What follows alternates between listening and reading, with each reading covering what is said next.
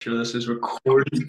Awesome. So, big one today. Welcome everybody to chat. We have the one and only Dan Richardson in with us today. Now, Dan, what I would like you to do for us is just quickly go into your background. What is it that you do, and what is it that you help athletes do in general? Yeah, no, definitely. So, as I said, I'm Dan Richardson. Uh, I'm a performance nutritionist. I work in professional sport and I also work as a consultant uh, with individual athletes and clubs, teams, the like. Uh, my background tended, I started from a young age, I suppose. I used to be really into rugby, made it to the point that I was a semi professional rugby player in rugby league, not rugby union, which I know might upset a few people watching, um, but didn't quite make it to that kind of heights. And it was a conversation that I had with my dad when I was about 17, 18. Uh, and effectively, offered a contract to play semi pro again at 18 or go off to university and study sports science. And uh, in the words of my dad, he said, You're a good rugby player, but you're not that good. So I decided to go off study sports science, and then that led me down the path of nutrition. Uh, went on to do a master's degree in sports nutrition, and I suppose I've spent the last kind of four or five years working with pro athletes. So straight out of uni, straight into a, a role that was full time uh, with a rugby club as a nutritionist, and then from there it's just kind of expanded and grown in terms of the sports I've worked with and places I've been. So all the guys that we work with are specifically footballers. So if you could give like a quick background, like what you've done in the world of football. I know you're a rugby guy as well. Football, we yeah, rugby was where it started, um, and then from there, I've kind of I've worked with, I suppose, two main football clubs. Uh, I worked a little bit for around six months with Man City's academy. Uh, I was a nutrition assistant there, so nothing major. Didn't make any big decisions. Didn't work with any players that you probably see in the first team now. Um, but you know, still good to get that experience under my belt when I was a young nutritionist. Uh, I've spent a lot of time working with various football teams. Uh, Lincoln City, I worked a little bit with and still do with their academy. And then, most notably, I suppose at the moment, I'm working with Leeds United's football club. And I think one of the reasons I was tricky to get on, should we say, Dylan, to start with, was because I was, uh, I wouldn't say stuck with the first team, but I was working uh, with the first team for a few months as their head interim head of nutrition, um, and now I'm back with the academy as their academy nutrition lead. So I effectively see oversee the programs from the under nines all the way through to the under 21s and the transition players that you see falling into that first team squad at Leeds. Um, so work with them in terms of developing strategies for performance and also health based nutrition to keep them obviously ticking over um, and developing as athletes. That is awesome. I know whenever we were talking a couple of weeks ago, you were telling me that you couldn't get on because you were just so deep in with the first team and taking over in that role. So, like, I'm sure everybody watching this video would like to know more about what was actually like to do the nutrition side of things for Leeds first team. Like, how was that for you, and like, what did that entail? Yeah, certainly very different to my academy role. Uh, my academy role is mainly focused on education, development, supporting athletes from a one-to-one level to be able to improve and develop with their nutrition. And I'm sure we'll crack onto that a little bit later on in terms of mm-hmm. tips and ways of doing that. With the first team, it was very much more I want to say of a an admin kind of nutrition role in terms of sorting hotels, uh, well, the food for the hotels, ensuring that the right foods are out at the right times for the players. As you've got to imagine with an academy, we've kind of got you know many different age groups in that are all on different match days, so it's quite difficult sometimes to be able to create a menu that kind of suits all of those individual needs from a team perspective. Whereas with the first team, have 20 to 30 athletes where you know you're trying to deliver a bespoke menu to support them so pasta stations fueling stations things such mm. as that um, there was quite a few incidences where normally, I suppose it's probably been a couple of years since I've been pitch side with a team. Um, I tend to enjoy from the stands uh, at the moment when it comes to the academy and kind of take a back seat um, and make sure the nutrition's done prior to that. Whereas with the first team, it was very much getting into the changing rooms, giving the lads what they need from supplements to hydration, and then actually being out on the pitch um, and throwing the water bottles on the pitch as and when needed. So, I, as I said, a glorified water boy uh, could have been one of my titles when I was with the first team. But you know, being in the thick of it was brilliant. Really enjoyed it, and like day to day, um, it's just kind of high performance, high intensity, um, all the way through. You know, six, seven days a week in with the players supporting them from you know a fueling perspective, but also making sure they're recovering well with the right kind of strategies that we can use. Awesome. That must have been very enjoyable for yourself. I've seen a few videos of you throwing out like the water bottles on the touchline and stuff, and it's like that would be absolutely class to do, being the thick of that. Um, so something that I would be interested to know is there any footballers at that elite level who would be kind of similar to the guys at the lower level who would be like picky eaters or anything like that? Would there be anything like that? And how do you overcome that if there is? Yeah, certainly. I think at that level, you kind of, I suppose, they're not picky eaters anymore. They're just set in their ways. I think is the best way of mm. describing it. Um, you know, unlike some of the younger athletes that I work with who don't want to eat a certain food because it looks a certain way or mm. you know potentially they've never tried it and it looks a little bit foreign to them um, i think with the first team players it was more routine um, and kind of regulation of themselves you know they know what food they like dislike they know what foods they want on a match day you know i've never seen so many you know young male footballers all having the same meal at the same time before mm. a match every single week so every week it would be you know if it's the pasta station it's the same combination of leaves greens um, you know chicken chicken, etc. Or if it's you know a breakfast meal, it's the same kind of two poached eggs with some smoked salmon uh, on a sourdough piece of toast, for example, would be like one of the one of the ways. And then you get some of the more obscure ones that's like they want a ham and cheese butty before the play, or they want a uh, you know, beans on toast with a sprinkle of cheese or whatever it might be. And that's just set rituals from, you know, kind of when they were younger. So not necessarily fussy or picky as which we see sometimes with the academy players, but certainly kind of like setting routines and making sure that as a nutritionist, the food's available for them to support them with that. Yeah, I feel when it comes to the higher level athletes, they're not really caring so much about like the taste of the food, it's the quality of the food, and they just want to make sure that they're feeling good and they're fueling so they can be at their best. So whether it be something that they don't really enjoy, they'll eat it anyway just to get that extra level of performance in. Would you agree? Yeah, hundred percent. I think you know they they look at it as more scientific, like carbs, fats, mm-hmm. proteins, mm-hmm. and they look at what's in that that's going to give them the best opportunity. There is some players I've worked with in the past, not necessarily at Leeds, but other clubs that you know won't have pasta because it causes a flare up with their with their stomach. Mm-hmm. So they'll opt yeah. for something like rice or potatoes instead. So they're looking more from a performance benefit. Like realistically, I've seen players eating dry, like almost like dry pasta, no sauce, because they know they need the pasta, but they don't like bolognese sauce or whatever it is that's offered with it. So they're not fussed oh. about taste and texture. They just want to get the fuel in to be able to perform mm-hmm. their absolute best. So I agree with you there, certainly. Awesome, awesome. So, um, in relevance to a lot of the guys that would be in this group and could be watching this video, like the biggest struggle that I see for my athletes and these guys is just they're busy athletes. This isn't their full time job. They have a full time job, they're in full time education, and they're trying to balance their training, their gym work. And then what I find is what they're struggling with is their nutrition because it kind of falls in the last place. Okay. So what advice would you give to someone who's maybe just starting out and trying to improve their nutrition? Like they're just getting into it and they're looking to improve it now. Like what advice would you give to them starting off? Yeah, I think you've got to start with the basics, and the basics is essentially fueling correctly. Like it doesn't matter what types of food you actually have to begin with. It's about getting that food in the body. I think the biggest thing I see with youth athletes that aren't within an academy structure or system is they account for their training. They might be brilliant and having a flapjack before training and a protein shake or a milkshake after training.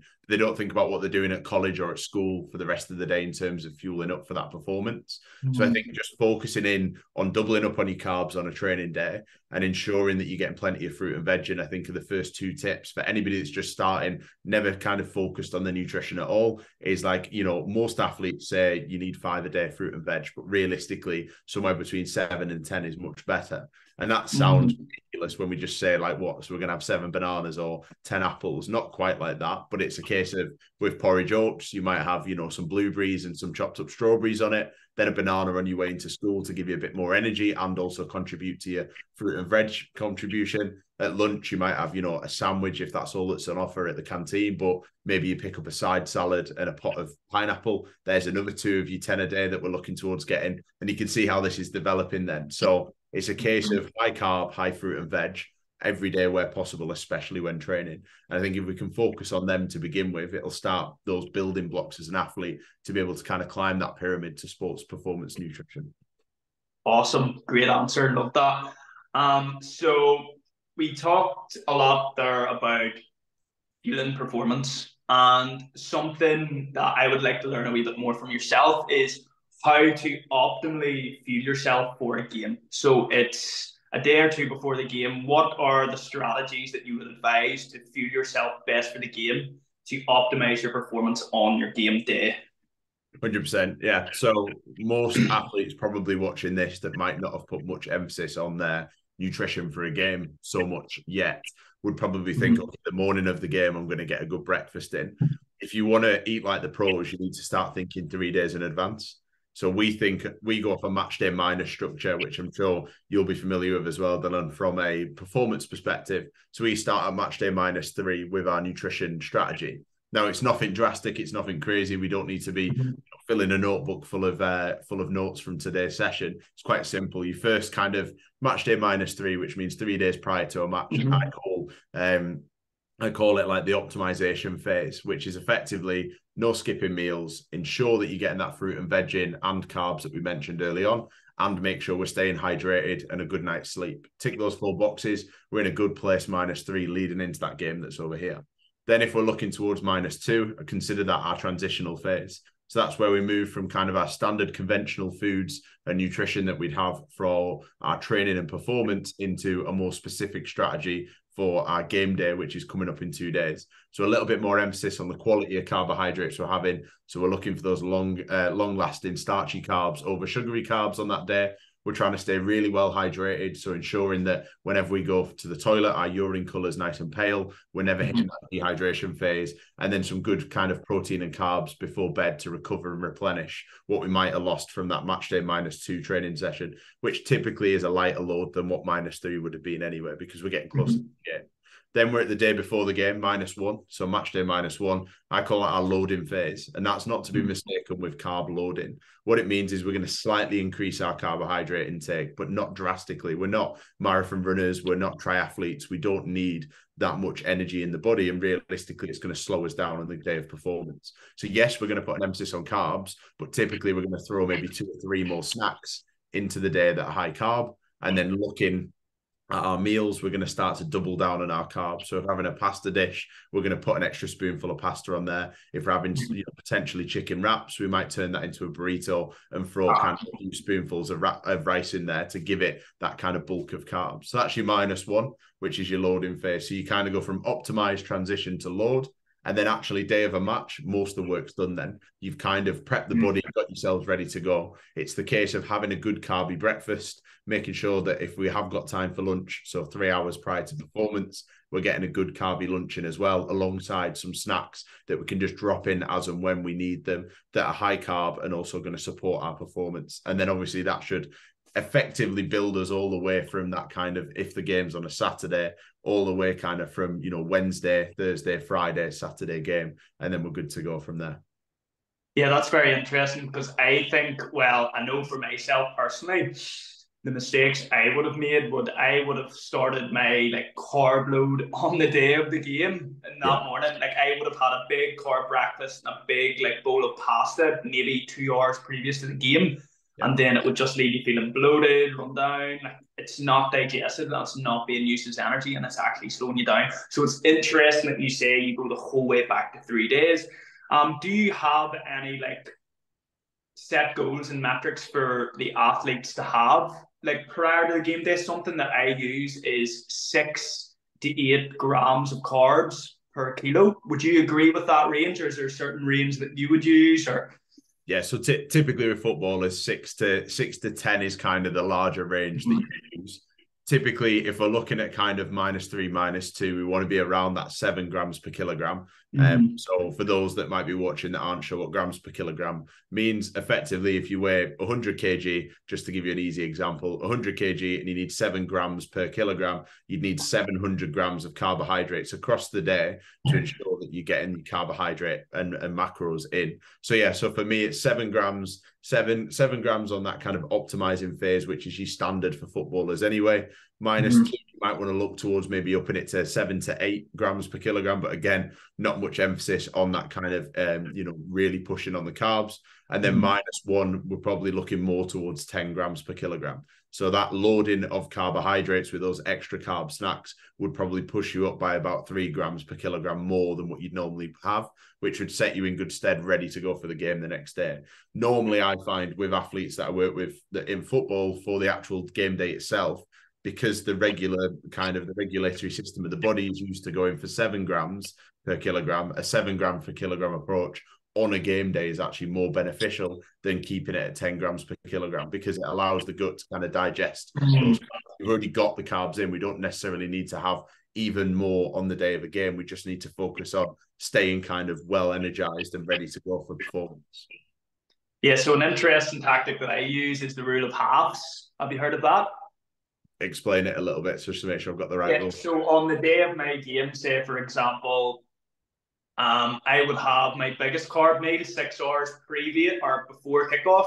Then three hours before, I would have a, a meal half the size of that, and then an hour and a half before, I would have a small carb based snack before the game. So that's what I find works for me. Say, for example, I have an afternoon kickoff.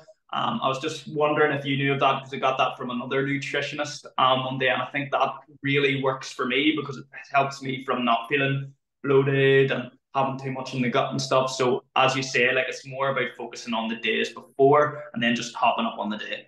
Yeah, definitely. No, I agree. And I think I've I've heard the rule of halves before, and I think it works well in in practice when the game's later in the day. If it's not later in the day and it's like mm-hmm. 11 a.m. or 10 a.m., oh, yeah. yeah, I always go three. I always say start eating your last big meal three and a half hours prior, knowing you're going to finish it within half an hour. So you'll have three hours to digest it, which is effectively, like say, what a previous nutritionist has said, which is a perfect way of doing it. But I think it's how you build up to that. So to me, I always say, you know, depending on the athlete, it depends whether they have their last big meal three hours before or if they have it at breakfast that morning. Either works well mm-hmm. because the fuel's still in the body. It's just more dependent on that athlete and their training and, and nutrition patterns and what they're currently doing.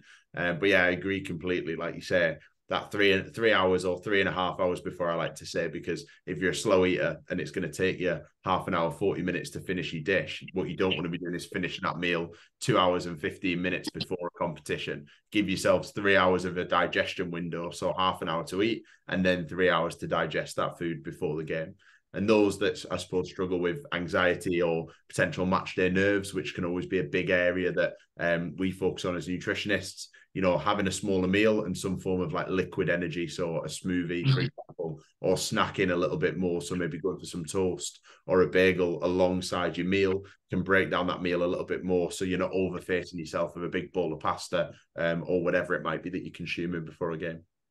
Yeah, that's great advice because that's something that would maybe affect me to agree. Maybe not so much nerves, but maybe more excitement sometimes you know, it's kind of the same thing. And like, I just don't feel like I want to eat before a competition. So that's a great idea, getting it in liquid form, just so it's easier to get down, digest. It's not going to feel you he- leave you feeling heavy and stuff.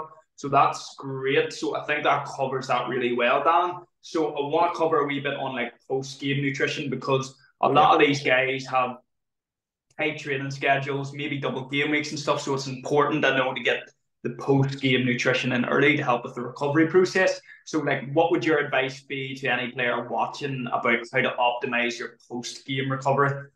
Yeah, I think the biggest thing, and you, you mentioned like double game weeks, since I suppose one of the teams I work with dropped to the championship, i.e. Leeds. There's been a lot of game weeks in that. And actually with our under 21s, we find that we get a lot of double game weeks, um, potentially cup mm-hmm. competition straight into a league competition. So we, we're quite adverse, or I should say versatile in terms of adapting to those um, scenarios. And I think the best way of doing so is yes, protein as soon as we can. Just understand that the more protein doesn't equal the better recovery. And I feel like I'm a broken record, and I say this in every single talk that I always speak about. Now, more protein over a long period of time will give you better recovery, but in one hit, our body can only absorb so much protein. Mm-hmm. If we're looking at it typically for a footballer, it's between 20 and 40 grams of protein. So if you've got a 30 gram protein shake following training or following a match, and yes, perfect. That's going to tick the box. It's going to start muscle protein synthesis, the recovery um, of the muscles following that game. However, if you double scoop that shake, you're adding no additional nutritional benefit to the body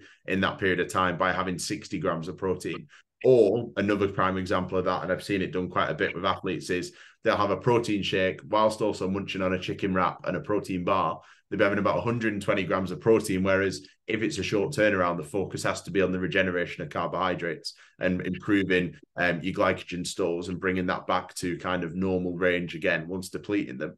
So the focus then shifts from let's get the protein in as soon as we can to start muscle protein synthesis. So as soon as we step off the pitch, if we're subbed off, or you know, if we've finished the 90 minute match, go and grab that shake while you're getting changed, having your shower, because that's going to elicit mm. protein synthesis as soon as we physically can possibly get it in and then look towards the carb options and the fruit and veg for recovery because that fruit and veg will boost your immune system, stop you getting ill when the body's at its lowest, and also support that overall recovery following that game. And then we can look towards increasing protein again. So typically every two to three hours, you want to hit a protein. Obviously, whilst you're awake, we're not going to get up in the middle of the night and have a, a something. So we'd look towards having, you know, a protein shake following training or sorry, following the match or potentially a high protein meal as soon as we can get it in. And then after after that, maybe an hour to two hours following that, we'd look to get our next hit of protein in, which might come from a meal such as you know a chicken wrap, for example, or potentially like a pulled pork bao bun or something along that, like a little snack or something that's a little bit more of a treat. Um, ideally, if we've got short turnarounds, staying away from the Domino's and the McDonald's because we need to make sure we're optimizing the body for the next performance that's coming up. Yeah, very interesting. Um, especially the fact that a lot of these guys may not know that you should actually drip free or drip feed your protein throughout the day. Um, for a lot of the athletes that I may have on, they'll or even some guys in here, you'll probably have a protein goal for that day. And say, for example, you have 100 grams of protein hit at the end of that day, like it's not going to serve you well just getting that all in at the end of the day. Yeah. So yeah, completely agree there. Um, next point I want to cover, which is something that I would like to personally know more around, is hydration and how important that is for your game day, and like how to improve your hydration through the likes of supplements, electrolytes, and stuff like that, and how should you handle that on your game. Yeah, certainly. I think just generally hydration is important for athletes to reduce fatigue, muscle cramps, and the likes. I love how we grabbed our bottle of water there, Dylan. Mm-hmm. Saying that Stepping all the time, lad. Glass of water. Even tomorrow, yes. but I think the the big thing is like unless we're doing sweat testing, unless we're working out sweat rates of athletes, it's very difficult to re- effectively without the science to say this is exactly how much water you require for this amount of time during a session. You've also got to consider other variables in the session, such as, you know, if we're looking to hydrate for a training session or rehydrate afterwards, you got to consider potentially the coaches might run you a bit harder, a bit lighter. You know, potentially there's a perception of that some tasks you find easy on a pitch, you find harder on a pitch. Potentially the weather. It's quite sunny over here in Manchester today, but there's certainly days where it's um, you know a little bit colder than what it is now, and also potentially you know it's a little bit warmer, which might increase um, your hydration or your need for for replenishment. But I think the big thing there is like the one thing that we can do and all athletes can do is to just check in and scientific test on yourself, which is to check your urine color. You know, if we're constantly in that kind of darker color of urine, we know that we're dehydrated. So we need to look to increase our um, intake of water. We know typically two to three liters a day is going to suffice for most healthy athlete, uh, most healthy adults, but not athletes. Normally, we'd say around 250 mil every one hour of uh, sorry, every 15 to 20 minutes of exercise, which would equate to about a liter per hour of exercise. And then following our training, we want around one and a half liters over the next one and a half hours to be able to rehydrate the body. But what that doesn't mean is that we go, okay, I need three liters of water to hydrate. Um, to be a healthy hydration. I'm doing two hours of training, so I need a further two two liters of water to compensate for that, and then I need that 1.5 liters of water after training, which would be I think six and a half or five and a half liters. That's not going to be the case that we can just add it up using simple maths because it'll all depend on sweat rates, your current hydration status, and also your ability to actually drink water during a session. So be mindful that there isn't really numbers that I can say in this session that you need to do X, Y, and Z, apart from two to three liters is kind of healthy individual um, water intake, and then look towards supplementing a bit more water when it comes to training. Now, supplements, you know, we've got all kinds of supplements out there. And I think big disclaimer is obviously if we are looking towards playing in the professional world, we want to make sure that they're informed sport and batch tested. So making sure they've got the little informed sport logo on it that gives us that kind of reputability and knowing that it's tested for any banned substances and it's actually legitimately good for performance. So electrolyte tablets um, can be really useful to add to your water. So when we sweat, sweat. We don't just sweat water, we sweat all kinds of different electrolytes that we need to replace. The two big ones being sodium and potassium. Um, I think going off the, on a tangent on that because we've got a, probably a, a, lot of young footballers watching this is unfortunately prime hydration drink isn't very good for hydrating.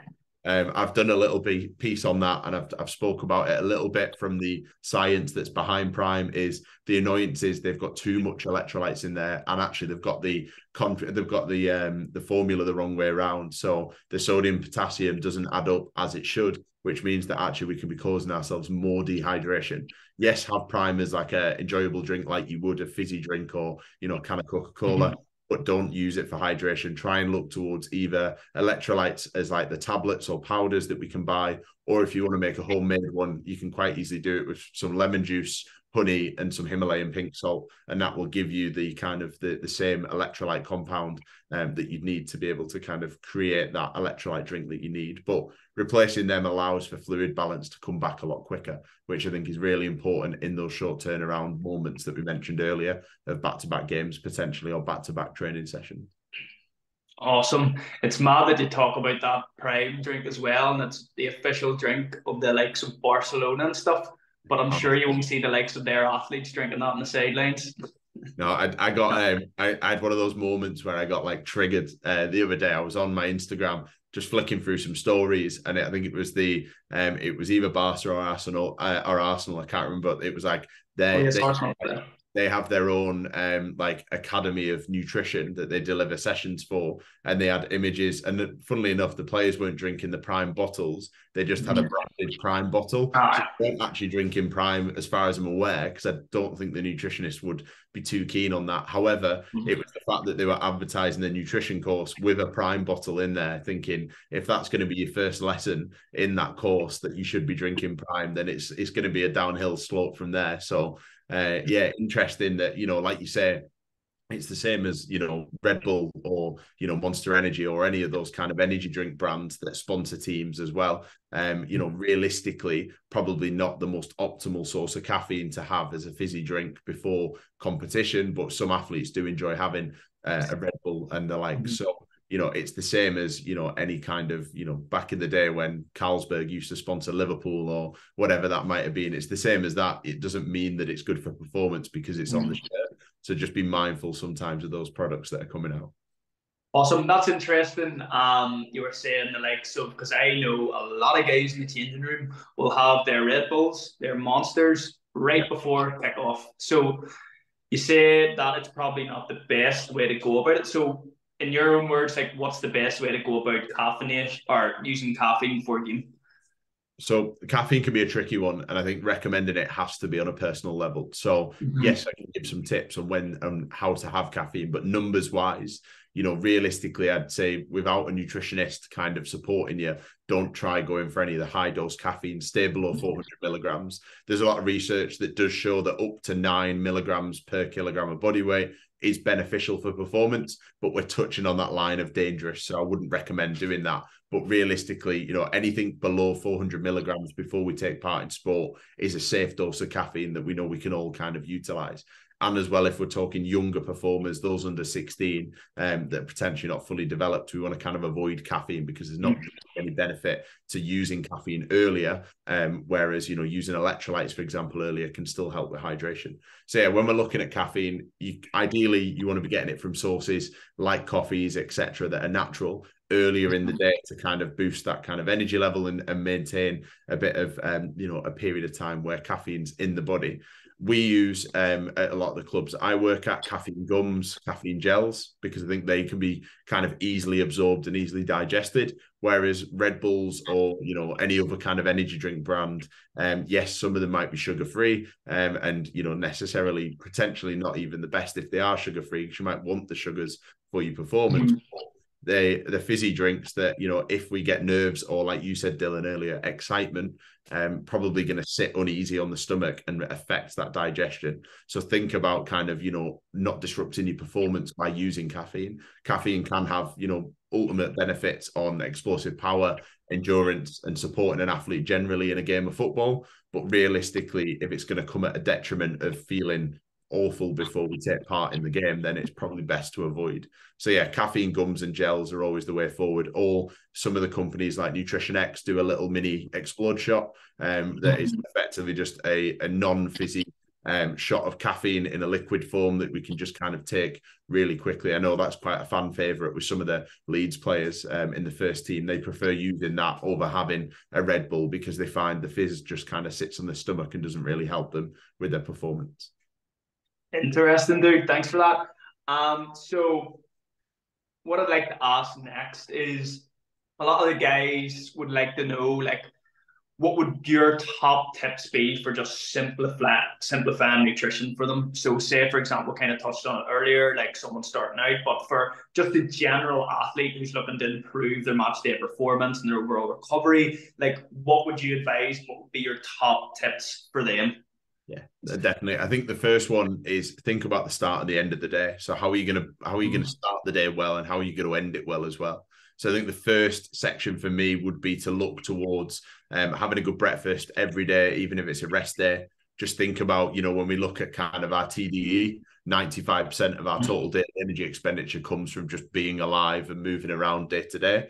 5% of that energy expenditure comes from our training and match play. So we still need to fuel even on the days we're not performing. So focus on a good breakfast that's high in carbs, a good hit of protein, and plenty of fruit and veg. You know, that could just be a bowl of oats because we've with some, you know, frozen fruit chucked on top of it with some honey. And then, you know, potentially looking towards that evening as well, making sure we're bookending the end of the day with some good good protein and good carbs. So my recommendation is always like granola, yogurt, and ensuring that there's some fruit on top of there as well. I think tip one is just like I say, bookend the start and the and the end of the day. I say the, the start and the, yeah, the end of the day, making sure they're in good in good practice. I think probably to give you two more tips, to kind of go away with three big tips is I think you hmm. mentioned it earlier as well about that um, about the protein and splitting it up across the day to work out what your requirements of protein are. That can be anywhere between 1.6 to 2.2 grams per kilogram a day, depending on your size and stature and your build and kind of what your goals are and how well you recover. Um, so, you know, take that number, divide it up across the day into kind of four or five, potentially six if we need equals hits of protein to allow for that muscle protein synthesis to continually regenerate what tends to happen, just quickly to digress on that one, is if we start here with our muscle protein synthesis, we get a nice big spike in muscle protein synthesis. Then after a couple of hours, we dip back down to kind of normal levels. We want to keep that spike and that wave going across the day. And if you go and look anywhere, you know, across the internet about muscle protein synthesis, you'll see some really good graphs from the research that shows how to make sure we stay within that threshold and we're able to continually regenerate the muscles, regrow and repair them as well. And I think finally, I think we touched on it a lot, but I think sleep and hydration um, is, you know, two of the big mm-hmm. areas that, yes, I'm not a sleep expert, but nutrition falls quite comfortably with sleep. You know, if we're struggling to sleep, we don't want to be looking to medicate to sleep better. We need to focus on better foods during the day to fuel the day better. And then actually in the evening, looking towards foods that are high in magnesium. Um, so nuts, bananas, dark chocolate are all really good sources that should help us hit that REM sleep a little bit better and as well, you know, hydrating across the day, but making sure we're not overhydrating in the evening. You mentioned about you know, some athletes that you've worked with, Dill, um, and you were talking about how they'd leave all their 100 grams of protein to the end of the day. Same with hydration. Don't leave you three, four liters to the end of the day, or else that'll disrupt your sleep and actually be up and mm. down all night going to the toilet. So making sure that our hydration is actually, you know, considered similar to protein, little and often sips across the day to ensure that we're getting the best out of our kind of hydration and staying hydrated. And then sleep, of course, we want around seven to nine hours each evening. Those that might be watching as well, just to digress on that point, that are a little bit younger, you might actually need more sleep. So realistically, if you're looking more in your teen years where you've still got a lot of maturing and, and, maturation to do, you might even be looking at 10 plus hours of sleep a night that you might require for the body. So if you're one of those athletes that are watching this, you know, either live or on the recording um, and thinking I can never, you know, never function or wake up for school in the morning or can never function and wake up for college, it might be that you're going to bed too late. Yes, mm-hmm. you yourself nine hours, but your body might require 10, 11 hours. And that compounding kind of interest over the over the week of sleep debt is going to then lead into the next week and make us feel even worse. So consider that actually, yes, you might be getting seven hours of good quality sleep, but your body might require nine every night. And you imagine even just over five days, that's a 10 hour sleep debt that we're looking at. So make sure that we're kind of prioritizing that as well. That's very interesting. There's definitely been a big shift anyway in the performance world of just like how important sleep actually is at the moment. Like the studies showing like just how much more likely you are to get injured if you're not sleeping properly and stuff like that as well. So obviously this all ties in together, nutrition and sleep whenever it comes to recovery. So we need to focus on that. You touched on a point as well, something that I'm interested in knowing your views on is for me, for example, this is gonna sound nuts. I train from nine to ten on a Tuesday evening. So, how do you optimize your recovery and what nutrition strategy do you use for a player, for example, who might train very late in the evening and then have like work the next day and the next morning? Like, what would your advice be around that? Yeah. So, if I'm honest, a lot of the research that's now coming out, well, has come out around protein intake. And we know that protein's important post training, but we also know that it doesn't work linearly. So, like, if you don't have protein after training, you still it doesn't mean you're not going to get the effects from mm-hmm. that recovery. So there's a lot of studies now that are showing that if you've got a 9 to 10 p.m. training session, if you're able to digest and consume protein an hour before training, actually in those two hours, you're still going to get the, the effects of the recovery once you finish training. So it's not a case of having to have a really large meal when you get home. Yes, mm-hmm. you might want to top that up with some form of casein protein, which is slower mm-hmm. releasing for the evening to help you recover better. So when you get back into work the next morning, and obviously your job being quite um, you know, physically demanding, allows you to kind of recover overnight. But I think, you know, realistically, try and get all your fueling in before 9 p.m., your main fueling and then looking, like I said, on that tip number one that we spoke about, bookending the day with some good carbs and good protein. So again, it might be a you know a high casein um, yogurt with um, some mm-hmm. granola and fruit in there after training because realistically all of our fueling will have been done during the day which allows us then to recover effectively without having to like shove a load of protein and a load of carbs into the body and and then try and sleep that off which isn't going to happen because our digestive system will just be functioning all night and keeping us mm-hmm. stopping us from getting to that deep sleep phase that we require for recovery so if we front load the day with our energy it'd be much easier for yourself it's not a case of that we have to stay up late at night and i think some easy tips is like prepping your food before. Um, you know, if you're going to have a bowl of granola and yogurt with some fruit, don't wait till you get home to chop up all the fruit. Put the mm-hmm. the bowl with the granola, make it earlier in the day, take it to maybe training in a Tupperware, and then on your drive or you walk home, however that might look, you can actually start consuming that. So actually, once you get home, the focus is shower, brush your teeth, and go to bed, as opposed to mm-hmm. make food and keep awake and stay alert yeah, optimizing your sleep past that. So I'm interested to know does the same rules apply for say for example you have a game on a Tuesday night and you're finishing at maybe half nine, quarter to ten. Like does the same rule apply or because there's such a gap between your last feed and full time, would there be any differences to that for anyone or what do you think? Yeah. So typically for most athletes that are playing one sport, you will get the following day as a recovery day. So mm-hmm. there is, unless obviously unique situation potentially where your role requires you to be physically active in your job the following mm-hmm. day. But for most athletes, it will be a recovery or a lighter day the following day and you know we will need some food to potentially you know just fuel through that recovery there so yeah you know prime example is there is some games at the moment isn't it that are like 8 8 15 in the evening they kick off and actually mm. players aren't done or back in the changing room till you know kind of near 10 o'clock or or you know more towards 10 p.m at night I'd say the best way to go about this is you are going to be spending time potentially in the changing rooms, getting changed and showering. It's what food you can have in the changing rooms ready to go. So you're not waiting until you're back home. Yes, not ideal even at 10 o'clock at night, you're still consuming food. You can do that whilst you're showering, potentially celebrating with the team, um, or you know, looking towards kind of refueling as quick as we can. So taking a pasta pot in with you or taking some form of, you know, maybe chicken fajitas to eat cold as you're getting changed to go home is much better than waiting until you get home and consuming that food. So almost like we do it quite a lot with, you know, some of the first teams I've worked with is we'll have the kitchen almost on standby with hot plates um, and they'll have mm-hmm. the the food prepared, um, and they're just kind of grab and go situations. Grab a box, fill it with wraps, um, wedges, you know, any kind of little spicy rice pots that they might want to consume, etc. But actually have it in the changing rooms whilst you're getting changed, chatting to everybody, waiting for you know the drivers to come or the coach to pull around. Um, and it's a case of then we know that we've hit that point of refueling. So when you get home, it might be that you're still hungry, but actually you could go and enjoy something to eat. Then you could have you know potentially a dessert or something like that or that granola pot that we mentioned earlier with yogurt is always a good winner, or maybe some like you know jam on toast or peanut butter on toast, etc.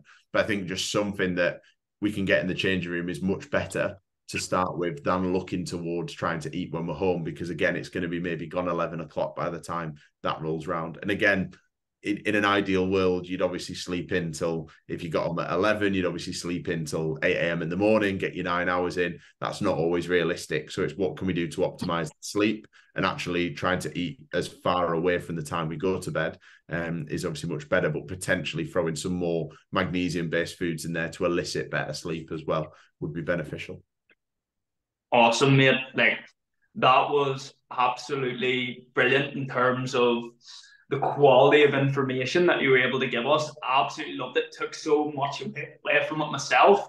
Um, just before we end the call and we end the conversation, I always like to end on the same point, and I I, always ask the, the guests, sorry, um, if you could give everybody here watching one young athlete um, one piece of advice, what would it be before we go? Yeah. So from a nutrition perspective, I feel as though is the is the best way to go around it is listen to your body. You know, if you're feeling hungry and you're feeling underfueled, then you probably are. The body will give you most of the signals you require. And I think, you know, just to leave it on that is brilliant. We've spoke about hydration. We've spoke about sleep. Your body will tell you if you're dehydrated. Your body will tell you if you're underslept and your body will tell you if you're underfueled. So if you listen to your body, you won't go too far wrong. Awesome, mate. That was absolutely brilliant. Thank you so much for coming on. Really appreciate it. And I think everybody watching or everybody who will get to watch this video will really appreciate it and take a lot from it as well. So thank you so much, Dan, for coming on. Really appreciate it. And yeah, maybe we'll get you back on soon sometime. Definitely. If we can ever get you again. yeah, thanks, Dylan. And thank you for having me on. And I appreciate it. Thanks. Oh, just before you go, um, where can everybody find you at? Good point. Uh, so on Instagram, uh, I am at DRN Nutrition. So there's a double N in there because it's DRN Nutrition, or you can go over to Twitter, which I think it's DRN Nutri because someone had DRN Nutrition already. Uh, they're probably the two best places to reach out to me. Uh, we have got a website as well, but it's currently down, getting uh, upgraded a little bit. But that is drn.co.uk. Uh, once that's back up and running, go check out kind of some of the stuff I do. But grab me on Instagram for now. Normally the easiest way to contact me. Thank you.